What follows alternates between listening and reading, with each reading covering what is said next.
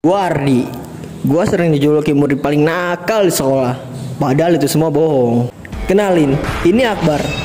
Temen yang selalu ada buat gua. Dan ini pacar gua, namanya Lia. Oman, dia adalah ketua rois di sekolah. Dan dia murid yang paling disayang oleh guru.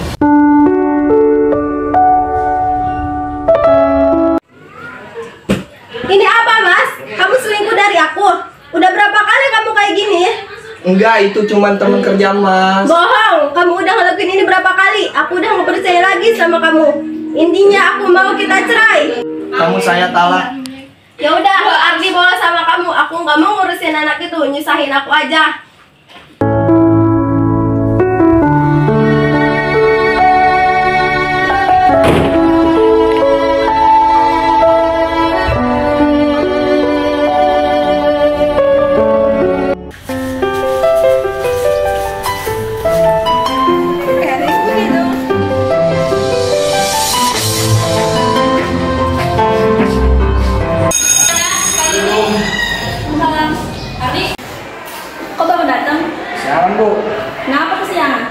Iya, siaran tadi.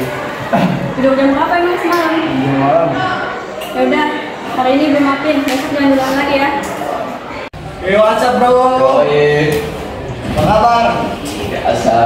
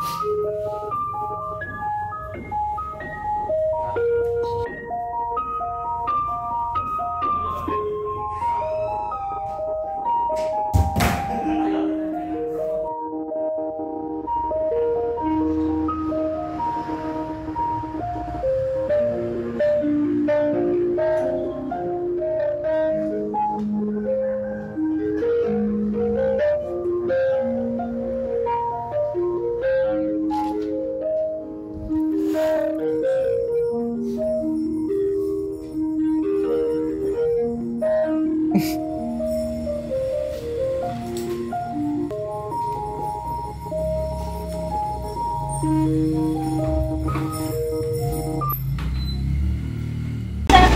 untuk di hotel, kalau di hotel seribu. Gimana nggak sektor orang belanjanya udah kesiangan. Kan, cari barang ke.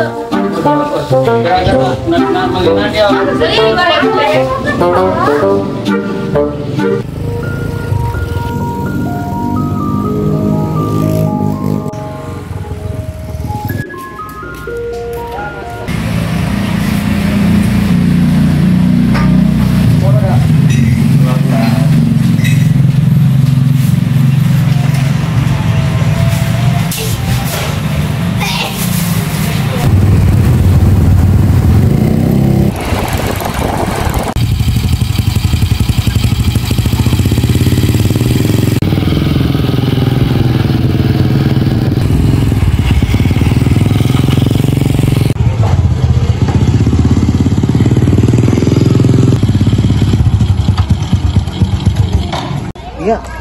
Aku deg-degan nih.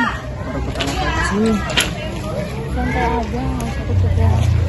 Kalau bapak kamu marah gimana ya? Nggak bakal marah. Assalamualaikum, Pak, Ma. Assalamualaikum. Waalaikumsalam. Eh, anak mama udah pulang. Sama siapa ini? Bu, kenalin, saya Ardi, pacarnya Lia. Oh, pacarnya Lia. Pak, ada pacarnya Lia nih. Mana? Pak, Eh, kamu kan yang suka nongkrong di depan malam-malam. iya pak. Hah? Iya pak. Emang benar, Pak? Bener, dia tuh suka mabok, suka ngobat. Kok kamu mau sih pacaran sama dia? Mama mau sekarang juga kamu putusin dia. Sekarang jangan pernah balik lagi ke sini. Udah, ayo Lia masuk. Tapi mah, udah nggak ada tapi-tapian. Ayo. Jangan pernah balik lagi ke sini.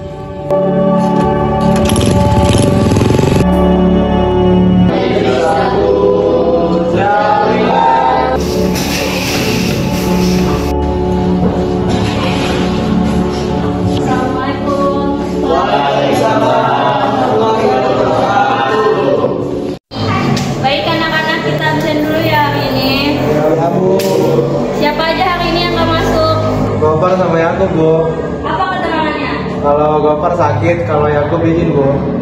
Oh, baik. Anak, akhir-akhir ini banyak sekali kasus bunuh diri. Ibu hanya minta tolong pada kalian semua, sebanyak apa pun masalah kalian, seberat apa pun masalah kalian, berserahlah kepada Allah, sholat, jangan pernah ada pikiran untuk bunuh diri atau menyakiti diri sendiri. Karena itu merupakan perbuatan yang dilarang oleh agama kita. Jadi, untuk ke depannya ibu minta sama kalian perbanyak lagi ibadahnya perbanyak lagi berdoa kepada Allah dekatkan diri kepada Allah agar semua masalah kalian bisa terselesaikan.